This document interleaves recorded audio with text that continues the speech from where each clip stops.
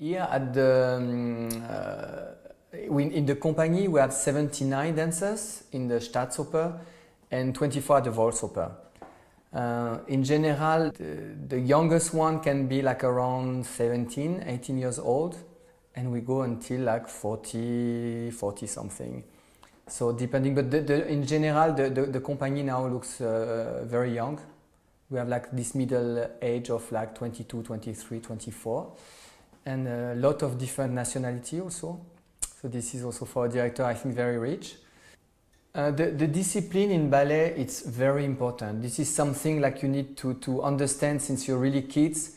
I think it's really like uh, the health of body. I mean, you, you need to wake up the morning to, to, to have a strong preparation. You need really to work. This is, this is something uh, uh absolutely necessary like every day, every single day, even if you're tired after performance, if, even if you work with different choreographers and you have pain. You, you, uh, it, it, it's something absolutely, this is the base of the, the, the, education of a ballet dancer. And, and for me, I can see difference between talented people who can maybe dance good for a short time because they don't, the work is not ready uh, behind, and some dancers who are maybe less talented but to understand really their body, they really work so hard, then they can have like a longer career and, and think like a, not in terms of like um, be good for five years, but be good for a long term. And this is really important. And I think I, I don't like to speak about me as a dancer, but I think if I was still dancing very late, it's because I have this. Uh, I think I understand this was absolutely necessary to work every day, and this is just the base of to, to, to have a long career and, and to, to go on. And uh, this is the discipline as a, as a dancers. And sometimes it's not question of gift. Uh, many many times in my career, I also met like people who were more like uh, talented than me. But after the difference, it's on the, the, the way you understand and the, the, the, way you you you do your job. I mean, it's not a job; it's a passion. But it's it's very important to to to think about this. Your your body is an instrument. Yeah, for me, my career start. I think I was only four when I asked to my parents to go for uh, for a ballet class. Uh, I think I saw what I remember. I saw something on TV, ballet, and, and, and I thought it would be a good thing, like to instead to do sport, to do football, or to do like the other boys are doing. I, I just wanted to, to to dance, and this was also I think the relation with the music. So um, I immediately start with a small school around Paris, and after I meet one teacher from Paris Opera, who told to my parents that I was gifted, and if I really want to do uh, to be a ballet dancer and to, to work like as a ballet dancer and go in a company, I should try the Paris Opera. And I went to the, the school, I passed the exam. It, it was quite easy when I said that. And I went in the school after I stay only four years in the school and I come in the company. So maybe it's not the, sa- the same thing with the, the everybody, but I think I was at the base like talented for, for to, to, to be to be a dancer. But the thing was quite fast, and after I, I, I joined Paris Opera, six years after I was already uh, danseur étoile. So at 21 I was danseur étoile in Paris Opera. So it was really quite fast, but I was re- really working a lot. So this was also, and it was a really a passion. It was not my, my parents were pushing me to do. Uh, this was really something like inside, and I really decided, and I really wanted to be a dancer.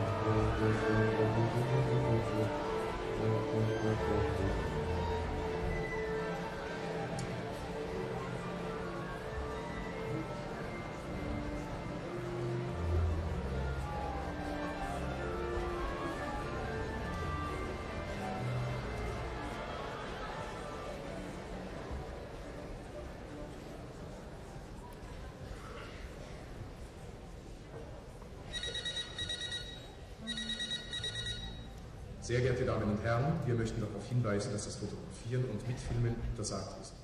Weiters bitten wir Sie, Ihre Mobiltelefone auszuschalten. Herzlichen Dank. Ladies and gentlemen, may we draw your attention to the fact that photography and filming are not permitted. Please ensure that your mobile phones are turned off.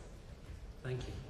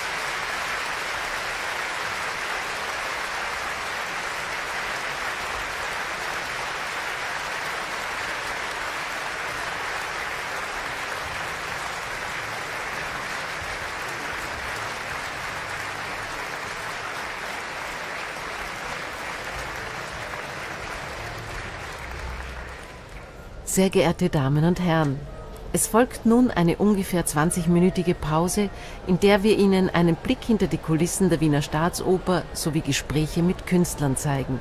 Wir wünschen Ihnen viel Vergnügen. Ähm, meine Mutter war Tänzerin und dadurch hatte ich das Glück, dass ich schon von Kindesalter all diese Bewegungen aufschnappen konnte und auch im Ballettsaal schnuppern konnte und ich habe das quasi in die Wiege gelegt bekommen. In der Ballettschule steht als Hauptfach klassischer Tanz auf dem Programm und das ist auch unsere Basis. Jeden Tag haben wir eineinhalb Stunden Training. Und äh, davon ausgehend haben wir ähm, Spitzentanz anhängend später oder auch Charaktertanz, weil man das für die Bühne eben braucht oder Jazzdance, weil, weil das Möglichkeit bietet für diejenigen, die es nicht schaffen, in einer klassischen Kompanie zu tanzen, später einen Job in einer anderen Kompanie, die einen anderen Schwerpunkt hat, zu tanzen. Mein Lieblingsfach äh, war Spitze und das war auch der Moment, wo ich, wo ich mich entschlossen habe, dass ich das beruflich machen will, einfach weil es, es ist was Besonderes, wenn man Leuten eine Geschichte vermitteln kann durch den Tanz und sie so berühren kann, beziehungsweise aus ihrem täglichen Leben rausreißen und ablenken kann und so Freude bringen kann. Im Allgemeinen haben wir von 10 bis 11.30 Uhr Training und dann haben wir Proben bis um 14.20 Uhr 40 Minuten Mittagspause und noch einmal zweieinhalb Stunden Proben, beziehungsweise am Abend Vorstellung. Also das Training dient im Großen und Ganzen dazu, unseren Körper zu trainieren und auch in Form zu halten und auf die darauf folgenden Proben zu, vorzubereiten. Und wir haben im Training bekommen wir jeden Tag andere Schritte, aber die Basis ist quasi dieselbe. Also der Aufbau vom Training ist derselbe. Wir fangen mit kleinen Bewegungen an, um einfach in, in Bewegung zu kommen und alles, was wir an der Stange machen, zum Beispiel wird dann auf die Mitte übertragen und entwickelt sich in große Sprünge oder eben viel größere Bewegungen. Und es ist schon eine Vorbereitung auf die Proben, einfach um die Bewegungen, die wir dann in den Proben machen müssen, schon geübt zu haben, schon vorbereitet zu haben, sodass es einfach schneller einsetzbar ist in den darauffolgenden Proben, wo wir eben die Schritte, die Choreografien für die Vorstellung dann proben und alles zusammensetzen. Ich glaube, das Schwerste an einer Choreografie, die nicht auf dem klassischen Tanz basiert, ist es, sie zu lernen weil wenn man eine klassische Choreografie lernt, weiß man die Namen. Also es ist einfacher einstudiert zu werden. Der, der Lehrer, die, der Pädagoge sagt, okay, jetzt machen wir eine Arabesque oder ein Soutenu und eine Pirouette. Und im Modernen, man kann die Sachen schon benennen, aber es ist einfach ganz anders, weil es nicht dieselbe Form hat wie im Klassischen und die Verbindungsschritte sind auch anders und Ansonsten ist es schön, moderne Sachen zu tanzen, weil man seine eigene Note hineinbringen kann. Und im Klassischen, natürlich kann man dem seinen eigenen Touch geben, aber man muss einem gewissen Bild entsprechen. Um uns während eines Probentages warm zu halten, auch wenn wir nicht in Bewegung sind, ist es wichtig, sich warm anzuziehen, damit man nicht kalt wird, was das Verletzungsrisiko natürlich erhöht.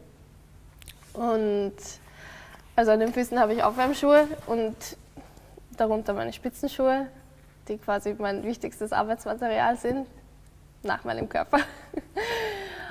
Und ja, also das ist ein Ball, den ich für die Füße verwende oder für die Muskeln, einfach um Stellen auszurollen, die ein bisschen verspannt sind. Das ist ein Terraband, das ich verwende, um meine Füße zu kräftigen, beziehungsweise kann man auch für die Arme oder Schulterbereich verwenden.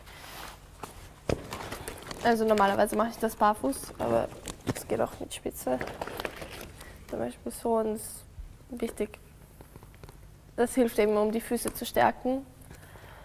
Die große Rolle ist eben, um Muskelpartien großflächig auszurollen, auszu, zum Beispiel. like this. So it's ähm, der Unterschied zwischen Spitzenschuhen und Schläppchen ist eben derjenige, dass man bei Spitzenschuhen eine harte Sohle hat und auch der Bereich hier vorne verstärkt ist und meistens sind sie aus einem anderen Material. Und Spitzenschuhe werden großteils von Frauen getragen, also die, in der Ausbildung haben nur die, die Mädchen Spitzenunterricht. Es gibt ein paar moderne Ballette, wo Männer auch tanzen, aber das kommt nicht so häufig vor. Und ähm, Schläppchen sind das Hauptarbeitsmaterial für die Männer, würde ich sagen. Am Tag der Vorstellung arbeiten wir meistens nur bis um 14 Uhr, um uns, wenn die Vorstellung beispielsweise um 7 Uhr anfängt, um noch genügend Zeit zu haben, uns auszuruhen, um wieder Kräfte zu tanken für die Vorstellung. Mm, meistens lege ich mich vorher noch einmal schla äh, schlafen und ich komme so zwei bis drei Stunden vor der Vorstellung. Fange an, mich, mich zu schminken, die Haare zu machen, was manchmal aufwendig sein kann. Und dann muss ich mich noch einmal aufwärmen, gehe vielleicht noch mal durch die Schritte und meistens ist es dann eh schon Zeit, auf die Bühne zu gehen. Eine Schwierigkeit, oft, wenn man auf der Bühne steht, ist zum Beispiel, dass nicht immer alles klappt, so wie es in den Proben funktioniert hat. Und man diese Situationen aber sofort lösen muss, sodass es dem Publikum nicht auffällt. Zum Beispiel kann ein, ein, eine Hebung nicht funktionieren oder der Boden ist rutschig oder das Tempo vari variiert sehr stark dadurch, dass wir eben zu Live-Musik tanzen und das sind halt Situationen, die schnell gelöst werden müssen. das macht es aber auch so interessant, auf der Bühne zu stehen und zu tanzen. Bis jetzt hatte ich das Glück, in so vielen verschiedenen Produktionen zu tanzen, aber ich glaube, bis jetzt war die Mitzi in Meierling meine Lieblingsrolle. Einfach weil sie technisch sehr, sehr anspruchsvoll war, aber auch schauspielerisch äußerst anspruchsvoll war. Und ich mag die Kombination, wenn es nicht einfach nur eine rein technische Variation ist, die man tanzen muss, sondern auch den Leuten etwas vermitteln kann und eine Geschichte erzählen kann und eben sein schauspielerisches Können zeigen kann. Also das ist eine Stange, da fangen wir unser Training an. Und ja, also die ist für uns, für die Erwachsenen quasi und das ist für die Kinder natürlich ein bisschen niedriger. Und wir fangen unser Training meistens mit zwei Händen an, um so ein bisschen aufzuwärmen. Also eine, eine Übung machen wir so. Also unsere erste Bewegung an der Stange ist Plié. Und das entwickelt sich dann eben in viele andere Bewegungen und man will das in fast jeder Kombination später finden. Zum Beispiel ist es vor einem Relevé ist es wichtig oder dann auf einem Bein auch oder vor einer Pirouette oder vor Sprüngen. Also man wird es immer finden. Das ist quasi die Verbindung zwischen den Sprüngen und auch die Vorbereitung. Die nächste Übung, die wir machen, ist eben Tendu äh, von erster Position, von, zweit, von fünfter Position. Das entwickelt sich dann in Jeté und später zu Grand Battement. Und das werden wir auch in den großen Sprüngen zum Beispiel finden, wenn wir einen, einen Grand Jeté machen. Also das wäre gesprungen. Und ja, also so entwickeln sich die Grundlagen von der, von der Stange eben in der Mitte und in die großen Sprünge. Also der ganze Sinn, dass wir diese Übungen an der Stange machen, ist einfach, damit wir am Anfang des Tages unser Center finden, damit wir wissen, wo wir stehen müssen. Einfach um bereit zu sein, wenn wir in der Mitte eigentlich genau dieselben Übungen wiederholen. Aber wir sind eben vorbereitet dadurch, dass wir an der Stange die Hilfe hatten, zu finden, wo wir stehen müssen, wo wir Balance halten müssen. Und diese eben ist eine gute Vorbereitung. Und, aber es ist auch angenehm für uns, dadurch, dass wir eben uns darauf dehnen können und andere einfach um warm zu werden. Wenn ich sechs Jahre alt war, hat mich meine Mutter in eine Volkstanzschule gebracht. Mich und meinen Bruder. Eigentlich mein Bruder wollte immer tanzen. Er ist ein bisschen älter als ich und ich nicht. Aber ich wurde aufgenommen in diese Schule und mein Bruder nicht. Wir haben beide geweint. Er, weil er nicht aufgenommen wurde und ich, weil ich genommen wurde. Und ich habe drei Jahre lang diese Volkstanzschule besucht und es hat mir sehr, sehr gut gefallen. Als ich neun Jahre alt war, hat mich meine Mutter gefragt, was ich machen möchte. Möchte ich weiter tanzen oder möchte ich was anderes machen? Ich habe mich für Tanz entschieden und dann hat mich meine Mutter in eine professionelle Ballettschule in Moskau gebracht und dort habe ich angefangen, richtige klassische Tanz zu lernen. Als ich 16 Jahre alt war, wurde ich ein, von einem Pädagoge aus Österreich in Moskau gesehen und wurde nach Österreich eingeladen, meine Tanzausbildung fertig zu machen. Im letzten Jahr in Ballettschule der Wiener Staatsoper habe ich parallel äh, an ziemlich viele Ballettvorstellungen teilgenommen und nächstes Jahr habe ich ein Engagement an Wiener Staatsoper Ballett bekommen. Seitdem tanze ich in diesem Haus.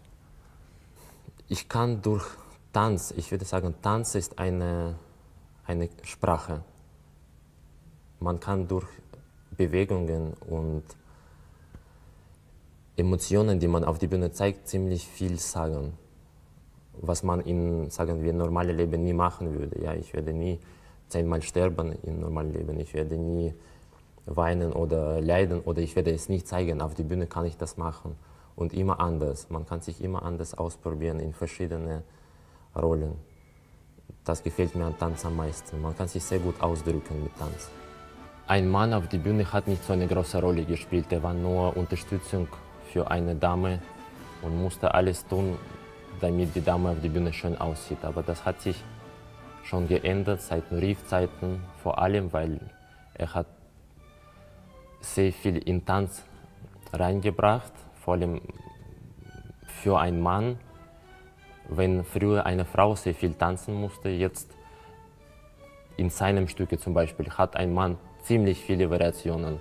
Eine Variation besteht aus natürlich Bewegungen, die wir im Ballettsaal täglich probieren aber meistens hat eine Variation drei oder vier Teile. Ein, ein, erste, ein leichter Sprungteil, dann im zweiten Teil kommen meistens äh, Drehungen und im dritten Teil kommen wieder große Sprünge. Ich habe sehr viele Rollen getanzt, aber die meisten Rollen, die mir am Herz liegen, würde ich sagen, das ist Anna Karenina. Ich habe dort Karenin getanzt. Das ist eine Geschichte, die ich seit meiner Kindheit kenne. Wir haben das Buch in Schule schon gelesen. Und es ist eine wunderschöne Musik von Tchaikovsky, eine, wirklich eine sehr dramatische Choreografie, die sehr gut äh,